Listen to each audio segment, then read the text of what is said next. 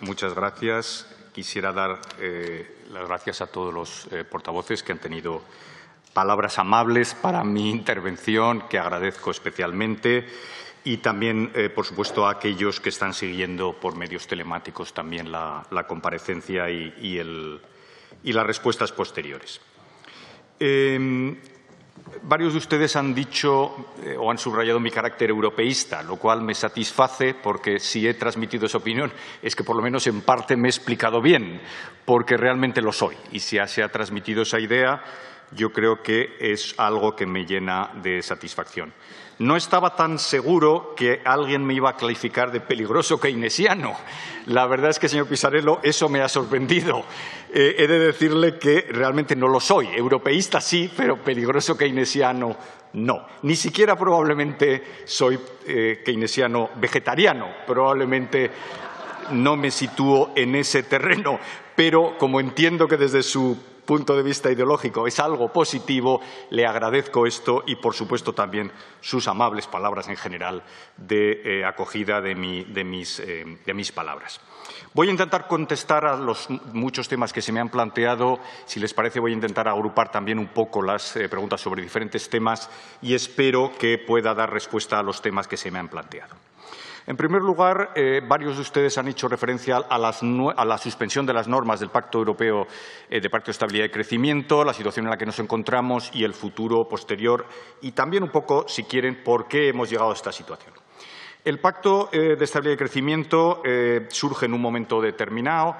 hay una cuestión que no me gustaría extenderme, esto ya es la historia, pero que me parece muy importante y que se ha olvidado, que es la crisis que surge en el año 2003 cuando el pacto recién nacido era casi un niño, es incumplido simultáneamente por Alemania y por Francia. Y ahí queda el tema. A veces cuando recordamos lo que pasa después, lo que pasa en Grecia, lo que ha pasado en Portugal, etcétera, eh, nunca debemos olvidar que los primeros que incumplieron las normas fueron Alemania y e, Francia.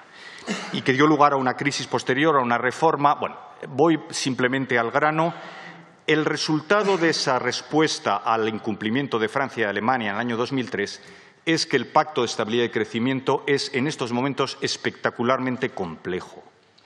Eh, las normas eh, podían pensar que son sencillas, no lo son.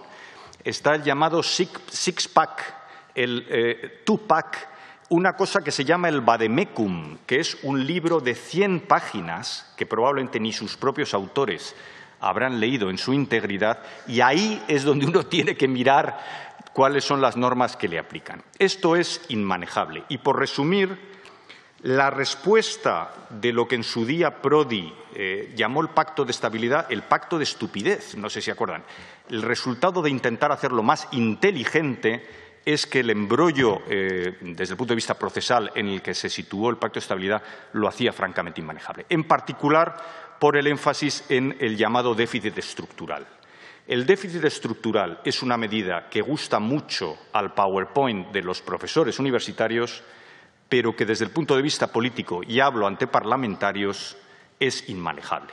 En mi experiencia que el señor Bell mencionaba, le puedo asegurar que no es sencillo explicar si estamos subiendo o bajando en el déficit estructural, porque no es una medida que se observa directamente, sino es una construcción que hacen en los sótanos de la Comisión Europea unos funcionarios con unos ordenadores que sacan un determinado número. Intentar explicar eso en el debate parlamentario nacional, intentar explicar eso a la opinión pública es imposible. Por lo tanto, yo creo que la percepción que había era que ya las normas habían llegado a un nivel de complejidad absolutamente inmanejable y que la utilización de estos conceptos, que no son directamente observables, hacen que la transparencia y la transparencia política entre los parlamentos de las normas ha desaparecido. ¿Dónde están los ejes de reforma, a, mi juicio? ¿A dónde yo creo que vamos a ir? Yo diría muy en general en, a dos grandes reformas. La primera es poner un objetivo mucho más sencillo de control del gasto nominal. Cuál sea el déficit estructural, como digo, es una cosa compleja de estimar y que muchas veces no se sabe hasta un año después de haberse aprobado el presupuesto. En cambio, todo el mundo sabe, cuando ustedes ven el proyecto, la ley de presupuestos, cuál es el crecimiento del nominal. Volver a reglas de gasto explícitas en términos de gasto nominal o gasto nominal primario que, eh, por ser más precisos, es algo que me parece que facilita la interpretación política y el escrutinio parlamentario de ustedes de los proyectos nacionales de presupuestos. Primera, por lo tanto, de las reformas. Segunda reforma, orientarse más a los indicadores de deuda que a los indicadores compuestos, a los indicadores complejos. El efecto externo del presupuesto de un país respecto a sus vecinos es, ante todo, la deuda.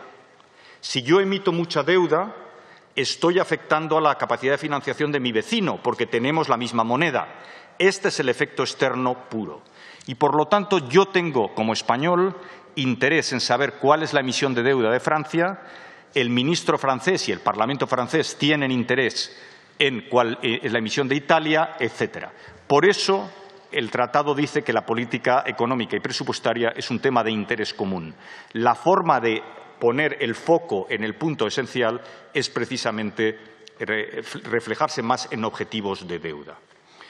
Eh, cuando uno alcanza un 120% de deuda, las posibilidades de manejar el stock empiezan a ser más complejas. La aritmética de cómo evoluciona la relación entre deuda y PIB es muy sencilla. Depende del crecimiento del PIB nominal de los tipos de interés y del superávit primario. Uno hace la ecuación y ve si la deuda empieza a subir o empieza a bajar. Cuando hemos llegado a niveles tan altos, yo creo que todos, y insisto, todos los 19 países de la eurozona, tenemos interés en que la tendencia de la relación deuda-PIB caiga.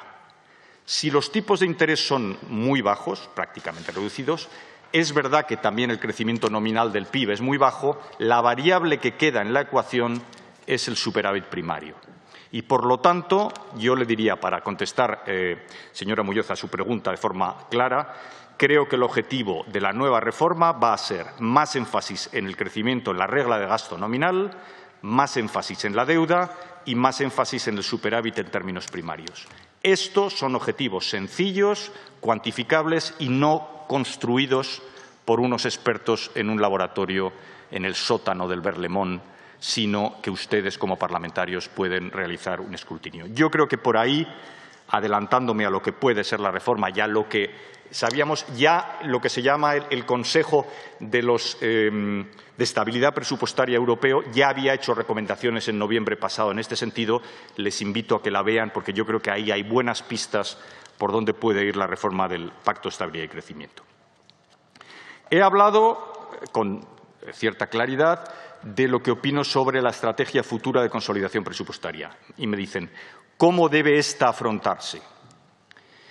Eh, vamos a enfrentarnos en los próximos años a una senda de déficit mayor como consecuencia de la crisis de lo que cualquiera hubiera planeado en el mes de febrero. La estrategia de consolidación presupuestaria, por lo tanto, debe tener como uno de los eh, es la reducción o este plan de reequilibrio, la reducción gradual del déficit. Claro, la pregunta inevitable es ingresos o gastos, o ambos, o qué combinación de ambos. Evidentemente, al final es una combinación de ambos. Pero déjenme que les diga una cosa. Yo creo que la experiencia internacional, y de esto hay mucho estudio ya hecho en materia de consolidación fiscal, por ejemplo, un autor recientemente fallecido, el, el, profesor Alesina de la Universidad de Harvard, que hizo su carrera profesional precisamente estudiando los procesos de consolidación fiscal, una de las conclusiones, yo creo, bastante generales a las que se llega es que la consolidación fiscal es más sólida y más duradera cuando, en primer lugar, se asienta en un control del gasto. Es decir, aquellas consolidaciones que solo se basan o se basan prioritariamente en subidas de impuestos suelen ser menos consistentes y menos regulares en el tiempo. Por lo tanto, yo le diría, en primer lugar, una política clara de control y supervisión del gasto público. Y aquí uno con algo que eh, varios de ustedes han comentado, que es la experiencia del Spending Review. Yo no tengo más que palabras eh, positivas para el ejercicio que la IREF ha empezado.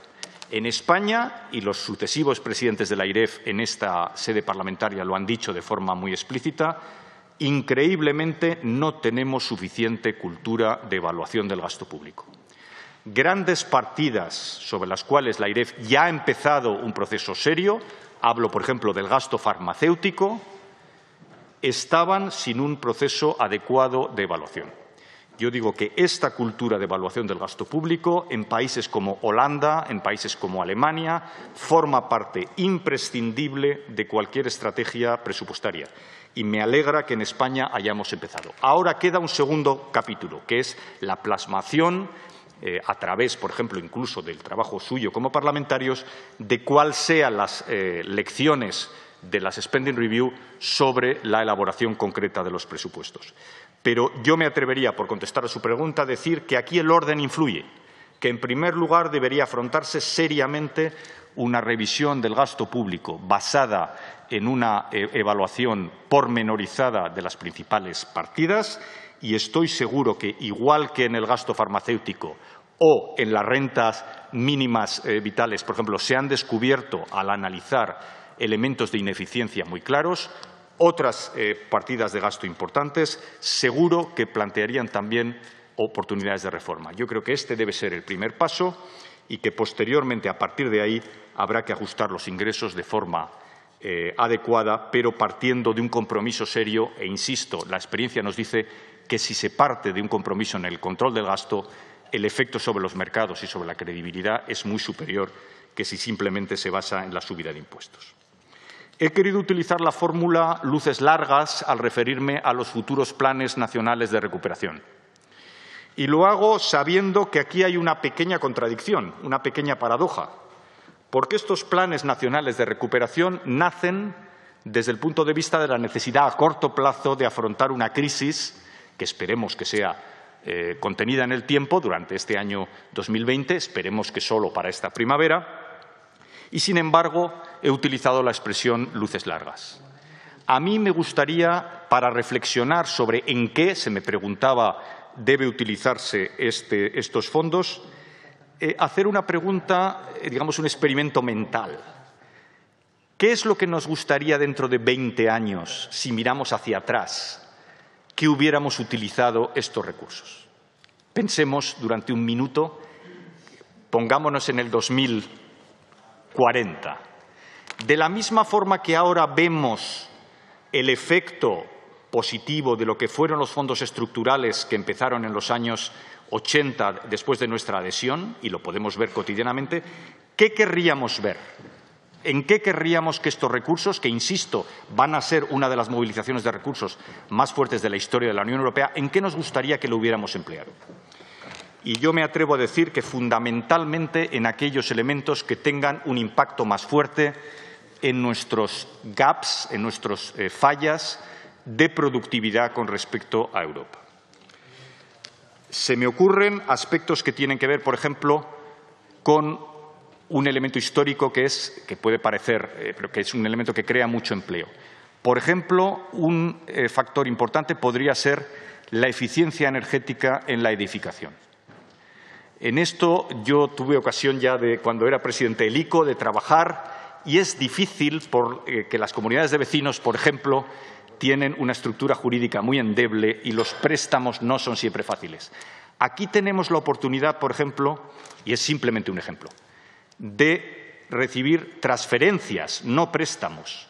Y, por lo tanto, podría ser una vía interesante la eficiencia eh, energética del stock de edificios, algunos de los cuales, sobre todo en poblaciones más vulnerables, tienen muy malas condiciones de eficiencia energética, podría ser un efecto muy importante de creación de empleo, de efecto social y también, por supuesto, de impacto medioambiental.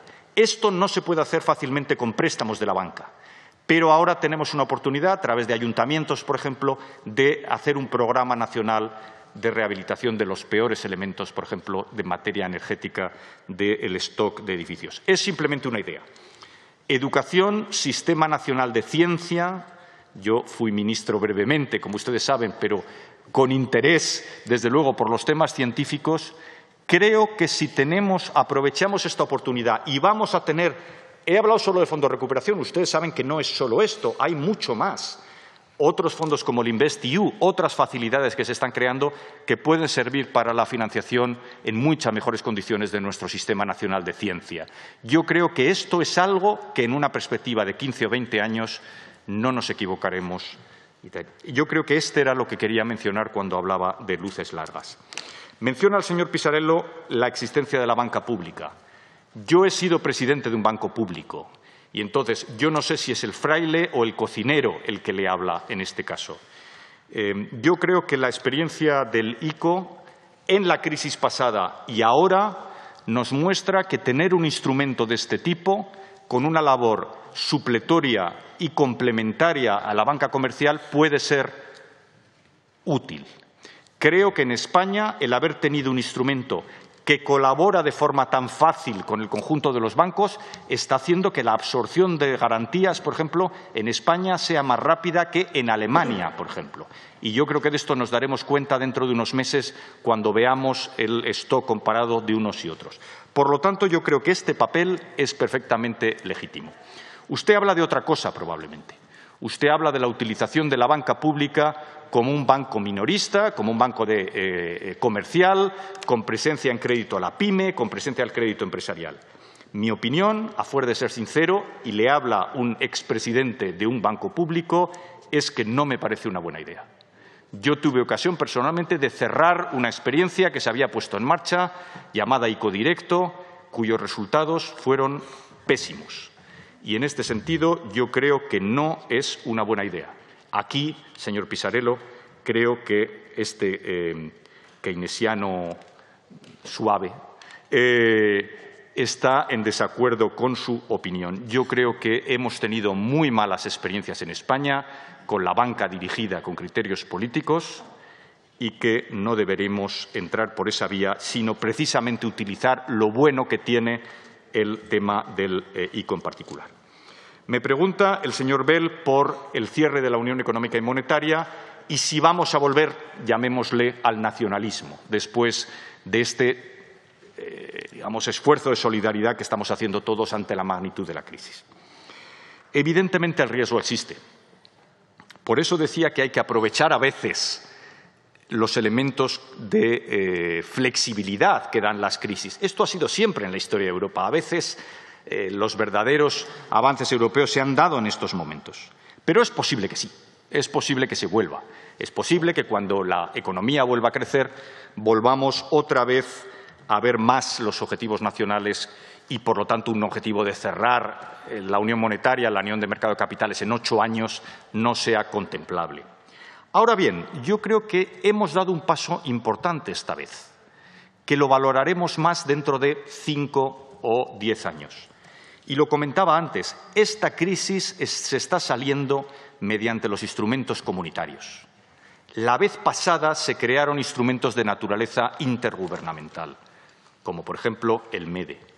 Los instrumentos intergubernamentales crean división, enfrentan a unos países con otros, crean la diferencia entre acreedores y deudores, entre el norte y el sur, los frugales y los ¿Cuál es la alternativa frugales, señorías? No lo sé. No frugales, digamos, lo cual es un poco ofensivo. Pero bueno, en cualquier caso, nadie ha dicho cuáles los que no son frugales. Esta división la crea y la incentiva los mecanismos de naturaleza intergubernamental. Y eso fue una mala solución de la cual salimos en la crisis anterior. Ahora vamos por el mecanismo comunitario normal. Yo creo que a través de una solución gestionada por la Comisión Europea vamos a tener bastante menos enfrentamiento entre países en el futuro que lo que teníamos con ocasión de los rescates, por ejemplo, pensemos en el caso griego, y la división tremenda que creó entre norte y sur. Yo creo que esto es una grandísima ventaja. Ahora estamos hablando del dinero, ahora estamos hablando de los bonos. Quizá dentro de diez años lo que valoremos es que esta salida se está haciendo por el método de la comunidad y la anterior se hizo por un método que daba lugar a la permanente división entre Estados miembros. Por lo tanto, es verdad, podemos volver a la división, pero yo creo que esto ha supuesto, a mi juicio, un empuje muy importante al proyecto europeo, quiero creer, como mencionaba anteriormente. Eh, se, menciona también, como suele ser habitual estos días, a Hamilton. Hamilton, desde que se hizo el musical de Broadway, yo creo que no se pensaba que iba a ser un personaje tan eh, eh, popular y, desde luego, en Madrid. ¿no? Probablemente, por cierto, no se ha estrenado todavía en Madrid. Yo creo que quizá un resultado de esta comisión pudiera ser que alguien tuviera la idea de estrenar el musical sobre, sobre Hamilton. Eh, Ya se ha explicado aquí en abundancia las diferencias entre un momento y otro. Yo creo que son situaciones diferentes, etcétera. Pero la importancia de la salida del cambio que se está dando, permitiendo que los organismos comunitarios clásicos, no un vehículo creado mediante un tratado extracomunitario por un acuerdo intergubernamental entre los Estados miembros, sino las propias instituciones europeas, puedan acceder a la emisión de bonos europeos, es un factor particularmente importante. Les he dicho que para mí, a medio plazo, es más importante la financiación, paradójicamente, que el propio uso de los fondos. Y esto es así y lo veremos con el tiempo cuando se empiece a producir ya las primeras emisiones de bonos europeos. Para el buen funcionamiento de la Unión Económica y Monetaria, en el futuro hace falta, se ha dicho mil veces, un stock suficientemente profundo de deuda común en euros, no de deuda alemana, holandesa o portuguesa, sino de deuda común. Si ustedes fueran inversores en Corea, en China o donde sea, ¿dónde preferirían tener sus activos en euros? ¿En un instrumento nacional o en un instrumento común europeo?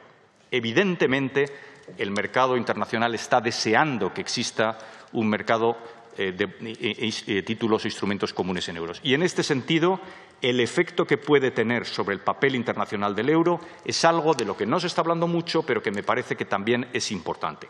Todo eso hace junto a la importancia que puede tener la emisión para el futuro de la unión bancaria, los bancos también quieren tener papel europeo en sus balances, no solo papel de su Estado miembro o del de al lado, sino un genuino título europeo precisamente por en aras de la unión bancaria. Creo que este punto, cuando se empiece a probar en el mercado, va a ser un cambio tan importante que me parece que puede ser, si no un momento hamiltoniano, desde luego un momento claramente de cambio en la Unión Europea. Se me eh, pregunta por parte del eh, diputado Garcés eh, elementos de la agenda reformista. El tema concursal es un tema que me atrevo a decir a sus señorías que esto es como en las, estaciones de Francia, que hay un cartel que dice atención, un tren puede, ocultar al siguiente. En estos momentos la urgencia de la crisis nos está tapando otros temas que van a venir pero cuando tengamos asumido el primer impacto de la crisis, va a venir una segunda ola de problemas eh, en el ámbito empresarial y, desde luego, los temas de naturaleza concursal y de segunda oportunidad tienen que ser importantes. Se ha hecho ya bastante en aras de la eh, llamada segunda oportunidad y cambios en la legislación concursal española.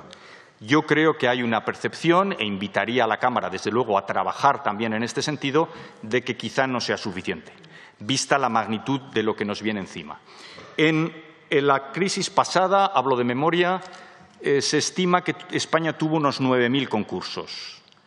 Eh, ha habido personas que han dicho que ahora podemos esperar unos 30.000 concursos eh, y probablemente el sistema español, tal como lo tenemos, puede entrar en un colapso similar a algunos problemas hospitalarios que hemos tenido durante esta primavera. Sería intolerable que la pyme española acabe pagando problemas que tienen una naturaleza puramente administrativa o de, procedimientos. Tenemos que ser conscientes de que cuando lleguen problemas de solvencia de los que el empresario no es en absoluto responsable, tiene que haber un procedimiento ágil. En este sentido, me atrevo a decir que la directiva sobre reestructuración está pendiente de aprobación y transposición. Yo no soy jurista, no me atrevo a ir tan lejos como para decir que la transposición de la Directiva 1023 puede ser el final de la eh, discusión, pero probablemente es algo que dejo en la mente de los eh, diputados porque sería un tema importante pensar y meditar sobre si una transposición rápida de la directiva probablemente nos situaría en un marco más próximo y, desde luego, más grato a inversores extranjeros. La pyme va a sufrir mucho. Las pymes en España terminan en procedimiento de tipo concursal en un 90 y mucho por ciento en liquidación. Esto es una situación que podemos ver venir en los próximos meses y de los que invito, desde luego, a los eh, diputados también a reflexionar. Unidad de mercado es una de las reformas importantes. Existen quejas en las asociaciones empresariales, sobre todo de productos industriales, eh, sobre discrepancias en la legislación del mercado interior. Aquí eh, también hablo de memoria, pero si no recuerdo mal, el 152 de la Constitución nos permite la posibilidad de armonización de determinadas normas. El concepto de armonización de normas eh, es un concepto plenamente aprobado a escala europea. Desde que un caballero intentó pasar un licor de eh, frutas a la frontera alemana y una sentencia legendaria del Tribunal Europeo hizo ver la importancia de este tipo de asuntos. En el contexto nacional no entiendo por qué va a ser distinto y la posibilidad de armonizar en determinados casos la legislación para el mercado interior a través del 152 es otra idea que yo creo que se podría contemplar eh, claramente. Eh, me pregunta también sobre la sentencia del Tribunal de Karlsruhe y su efecto eh, en la materialidad de la política monetaria. La sentencia del Tribunal Constitucional alemán de Karlsruhe, a mi juicio, tiene dos vertientes. Una, en lo que toca materialmente a eh, su opinión sobre la política de compra de activos, ojo, no al programa actual llamado PEP, sino al anterior, al que puso en marcha eh, Mario Draghi como presidente, y una segunda dimensión que tiene que ver más con un conflicto entre el Tribunal Europeo de Justicia y el Tribunal eh, Constitucional alemán. Este tema es particularmente delicado. Yo no soy jurista, no me detendré en él. Eh, pero plantea problemas serios sobre la primacía del derecho comunitario y los casos que ha mencionado de Hungría, etcétera, Polonia. Eh, son temas de gran calado y, sin duda, eh, merecen una atención de especialistas que no es mi caso. Por lo tanto, no hablaré del problema con el tribunal entre tribunales, pero sí de la opinión sobre el Banco Central Europeo y la política de compra de activos. En mi opinión, la sentencia del Tribunal Constitucional alemán y yo creo que esto es una cuestión afortunada, no va a tener efectos sobre la política futura y presente, porque también afecta al programa PEP del Banco Central Europeo. A mi juicio, el Tribunal de Karlsruhe entra en consideraciones de proporcionalidad que elabora con detalle y, a mi juicio, no resisten, creo, un análisis en profundidad la diferencia cualitativa que hacen entre los efectos monetarios y los efectos económicos, a mi juicio, parte de un análisis bastante desfasado. Por el mismo criterio, ninguna de las políticas de expansión cuantitativa que se está haciendo en el mundo, la Reserva Federal, el Banco de Japón, que lleva 20 años de expansión cuantitativa, tendrían esta cobertura y yo creo que es perfectamente posible eh, interpretar el principio de proporcionalidad en el sentido que el propio Tribunal Europeo de Justicia dejó palmariamente claro. La idea que plantea el Tribunal Constitucional de que el Banco Central Europeo debe dar explicaciones en tres meses y si éstas no son de, la aplicación de la proporcionalidad satisfactorias, prohibir al Bundesbank la compra de títulos, primero desde el punto de vista práctico, es básicamente eh, irrelevante porque se puede la política hacer desde otra forma. Desde el punto de vista del fondo, me parece difícil de justificar. Yo creo que el Banco Central Europeo ha tenido un cuidado exquisito en elaborar a través de su informe de estabilidad financiera, a través de los boletines trimestrales, a través de las declaraciones de su presidente, a través del blog que mantiene, que aconsejo, por cierto, que visiten regularmente porque es una excelente calidad, varios miembros, particularmente el economista jefe, con explicaciones exhaustivas precisamente de la proporcionalidad de las medidas de expansión monetaria. Por lo tanto, yo creo que no hay ningún problema en que a través del Bundesbank o como sea, el Banco Central Europeo explique perfectamente que no ha habido eh, ruptura del principio de proporcionalidad en la compra de activos y que, por lo tanto, esta interpretación de que está actuando ultravires, eh, sobrepasando su mandato, me parece muy fácil de argumentar. Desde el punto de vista concreto, creo que el Banco Central Europeo ha hecho bien en responder de forma contundente, que su política la considera respaldada plenamente por el Tribunal Europeo de Justicia. Su mejor respuesta ha sido precisamente la extensión de 600.000 millones que ha hecho a las pocas semanas. Me ha parecido particularmente importante para los mercados mostrar que no tienen ningún titubeo a la hora de juiciar su propia política Y yo creo que, por terminar, la propia contribución de la canciller Merkel en el papel franco-alemán ha despejado cualquier duda que pudiera existir en este terreno. El elemento más insidioso de la sentencia de Karlsruhe podía ser el dejar, en la opinión de los inversores, la idea de que Alemania se está descolgando emocionalmente de la Unión Monetaria y que esto es, podríamos decir, la punta jurídica de un iceberg más grande que es una desafección de la principal economía de la zona euro al proyecto común. Ahí la importancia eh, del documento franco-alemán y de las declaraciones, particularmente la semana pasada en el Parlamento alemán, de la canciller Merkel. Estas declaraciones, a mi juicio, son tan importantes como cualquier consideración jurídica, porque muestran que la canciller y detrás de ella el Gobierno alemán están comprometidos con una respuesta europea. Esto, para mí, aunque no sea desde el punto de vista jurídico, es la mejor respuesta a los, eh, eh, eh, cuestionamientos y dudas que puede plantear la sentencia de Karlsruhe. Y en este sentido, si no estamos ante un momento Hamilton, como se decía en esta misma sala, sí que estamos ante un momento Merkel y un momento particularmente memorable para su legado cuando lo veamos con un cierto tiempo. Con esto yo creo que he respondido de forma eh, concreta al grueso de las preguntas que se me han hecho y no me queda sin terminar. Me gustaría hacer un último comentario, presidente, si se me permite ya de naturaleza más personal, que sería el mostrar mi apoyo a la candidatura de la eh, vicepresidenta Nadia Calviño a la presidencia del Eurogrupo. Yo creo Ustedes no tienen por qué saberlo, pero yo tengo una amistad y relación personal con la vicepresidenta Calviño desde hace casi 30 años y eh, me une con ella, eh, al margen de cualquier otra cuestión, un extraordinario concepto. Yo creo que para España es un elemento importante para nuestra presencia, para la credibilidad de nuestro país y que es algo en lo que yo no quisiera terminar sin mostrar mi apoyo explícito y que conste en el diario de sesiones. Muchísimas gracias.